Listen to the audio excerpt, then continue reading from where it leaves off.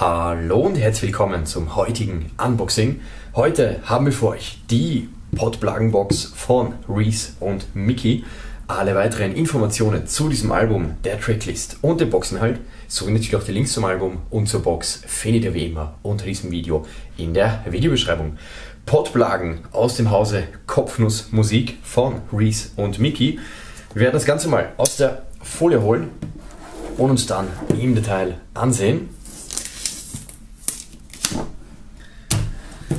So, das Album ja mehrfach verschoben worden und jetzt am 23.11. ist es endlich soweit.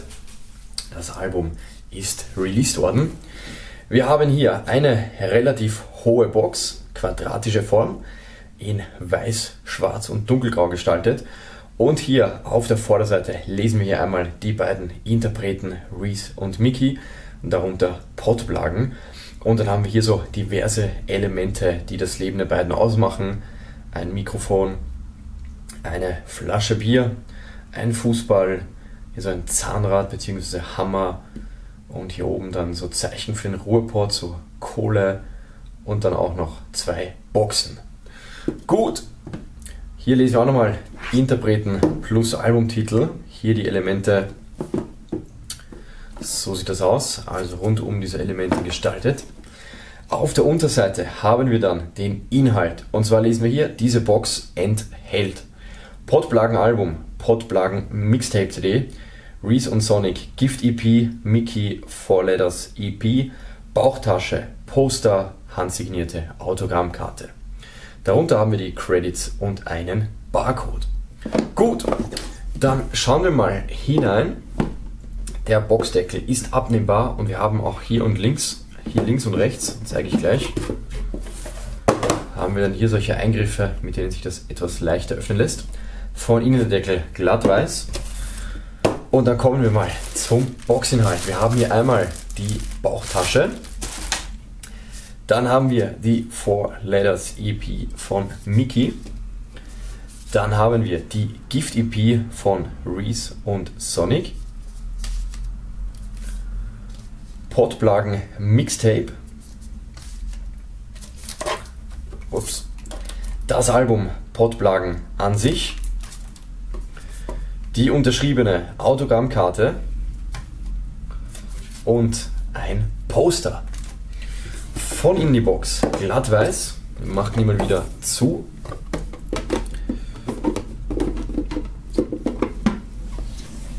So, und nachdem hier diverse Sachen noch in Folie sind, werden wir die mal öffnen.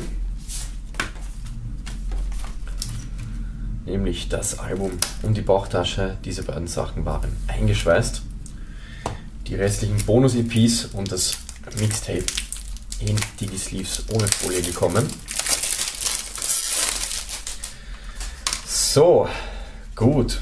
Dann starten wir mal wie immer mit dem Album an sich. So sieht das aus. Also wir haben hier oben Kopfnussmusik präsentiert. Dann lesen wir hier unten Reese und Mickey Potplagen. Und dann haben wir hier zwei Jungs, zwei junge Buben, die hier am Straßenrand auf dem Bordstein sitzen. Und hier haben wir noch einen Fußball. Das Ganze hier so in einem leichten Gelbton. Ansonsten Schwarz-Weiß-Foto das von den Farben sicher nicht zufällig gewählt, denn die zwei ja bekennende Dortmund-Fans. Das Ganze kommt in einem Stand, äh, Super Jewel Case. So sieht das aus. Und was mir jetzt auffällt, das ursprüngliche Cover, das damals veröffentlicht wurde, war wirklich nur in schwarz und weiß. Jetzt dieser gelbe Ton auf der linken Seite nochmal hinzugefügt, gefällt mir deutlich besser. Dann haben wir hier Reese und Mickey Potplagen. Und auf der Rückseite haben wir dann die Tracklist. Und zwar haben wir insgesamt 15 Tracks an der Zahl. Und wir haben auf dem Album drei Features. Und zwar haben wir einmal ein Feature von Sonic, nochmal Sonic und Deus. Also das Kopfnuss Musik Camp. Und dann haben wir hier die beiden Jungs, die wir vorhin auf der Straße sitzen gesehen haben, hier auf dem Weg Richtung Heikes, hier kann man es lesen, Heikes Kiosk. Credits haben wir hier unten noch. Gut, dann schauen wir mal hinein. Nachdem das ja ein super Jewel Case ist, geht das Booklet bzw. dieser Einleger hier super raus. Wir haben hier einmal eine sehr umfangreiche Danksagung von Retze und Miki. Könnt ihr euch natürlich an dieser Stelle das Video anhalten und diese Danksagung in Ruhe lesen. Dann haben wir hier einen Jungen, der etwas ja, deprimiert wirkt. Und hier wieder das Fußballthema überall mit dabei. Also hier so ein Fußballkäfig, an dem der Junge sich festhält. Okay. Das Album bzw. die Album-CD in Schwarz und Weiß sieht so aus. Und auf der Rückseite haben wir dann auch nochmal Schwarz-Weiß-Foto in diesem Gelbstich. So sieht das aus. Gut, dann kommen wir zum Podblagen Mixtape. So sieht das aus. Wir haben hier die beiden Interpreten Reese und Miki abgebildet. Darüber lesen wir wieder Kopfnussmusik präsentiert. Reese und Miki Podblagen Mixtape. Und dann haben wir hier 14 Tracks an der Zahl. Okay, das ist auf jeden Fall eine Menge. Und wenn ich es jetzt richtig beurteilen kann, sind das wirklich allesamt neue Tracks. Also keine Remix oder sonstigen Geschichten, sondern hier wirklich 14 Tracks, also quasi ein Bonusalbum nochmal obendrauf. Wir haben hier ein Feature von Akzent. Also 14 Tracks gibt es hier nochmal in diesem oder auf diesem Mixtape. Und das Ganze ist in einem Digisleeve, in einer Papphülle. So sieht das aus. Dann haben wir eine Bonus-EP und zwar ist das die Gift EP von Reese und Sonic. Wir haben hier auf dieser EP sechs Tracks mit drauf, die allesamt ohne Features daherkommen, sondern wirklich von diesen beiden Interpreten sein dürften. Die CD in grün, weiß und rot gestaltet. Ebenfalls in einer Papphülle. Und als dritte EP beziehungsweise ja, als zweite EP, als dritten Bonusinhalt, haben wir noch diese Four Letters EP von Mickey. Diese kommt ebenfalls in einem Digisleeve und hier haben wir dann auch nochmal sechs Tracks obendrauf, allesamt Solo-Tracks. Also echt unfassbar viel Musik. Das Ganze hier so in dunkel rotbraun gestaltet. Das Einzige, was ich jetzt daran auszusetzen habe, also jede Menge Musik ist auf jeden Fall krass, aber Meiner Meinung nach hätte man zumindest diese beiden EPs oder im Idealfall vielleicht alle drei Bonusinhalte vielleicht in so einem Digipack oder in irgendeinem anderen Case unterbringen können. Jetzt hat man diese drei Papphüllen. Aber ja. Dann haben wir eine Autogrammkarte, die von beiden unterschrieben wurde. Hier auch nochmal Podplagen. Und dann haben wir hier den Herrn Retze und Mickey abgebildet. So sieht das aus. Rückseite blank-weiß, sehr schön. Dann, bevor wir zur Bauchtasche kommen, haben wir noch ein Poster mit dabei.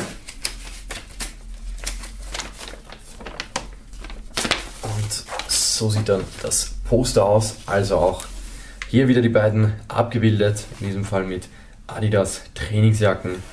Und hier in der Mitte wieder dieses Artwork, dieses Logo hier von Potplagen. Das Ganze ist einseitig bedruckt, Rückseite ist blank-weiß und hat auf jeden Fall eine angenehme Größe und die Faltlinien sind hier echt gut gemacht, also stören jetzt in der Optik wenig bis kaum. Okay. Dann falten wir mal wieder zusammen. Ist ja immer so eine Sache, diese Sachen so zusammenzufalten, wie sie ursprünglich waren. So, ich glaube, ich habe es geschafft, jawohl. Und als letzten Boxenhalt haben wir dann noch eine Umhänge, eine Bauchtasche. Hier vorne haben wir einmal das Logo von Kopfnuss Musik, der Totenkopf mit dem Mikrofon im Kopf steckend. Innenseite bzw. Rückseite blank-schwarz. Wir haben hier einen Tragegurt, dieser ist verschließbar mit so einem Plastikverschluss. Wir haben zwei Taschen, eine hier innen und eine hier außen. Nettes Detail am Rande, die Reißverschlüsse wurden hier mit Kopfnussmusik Logo gebrandet. So sieht dann die vordere Tasche aus. Also glatt schwarz von innen. Wir haben hier auch noch einen Zettel und zwar haben wir hier einmal das Logo von Kopfnuss Musik Und auf der Rückseite, so rum, lesen wir 100% Polyester und Made in PRC, also China. Grüße gehen raus. Und dann haben wir noch eine Rücktasche, also eine Rückseite, die ebenfalls mit einem Reißverschluss zu öffnen ist. Diese auch hier von innen komplett schwarz. So sieht das aus. Also zwei Reißverschlüsse hier, einmal vorne, einmal hinten. Kann man auf jeden Fall Geldbörse, Handy etc. unterbringen.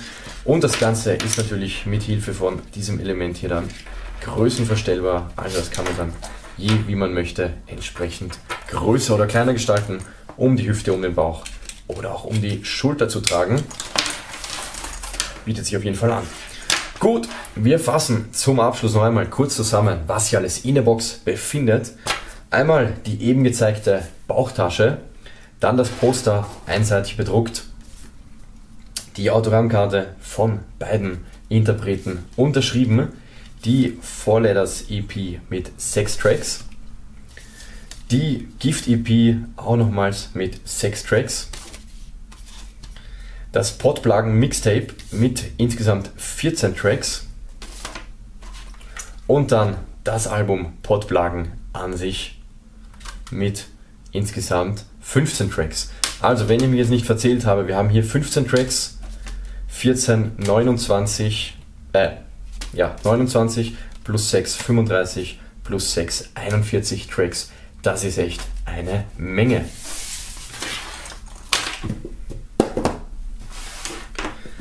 Das alles in dieser wunderbaren Box Potplagen von Reese und Mickey. Mich würde natürlich interessieren, was haltet ihr von dem Album bzw. der Box? Schreibt es in die Kommentare und wenn ihr die Musik feiert, falls ihr Reese und Mickey unterstützen möchtet, dann findet ihr die Links dazu unter diesem Video in der Videobeschreibung. Das war's für heute. Bis zum nächsten Unboxing. Passt auf euch auf. Ciao.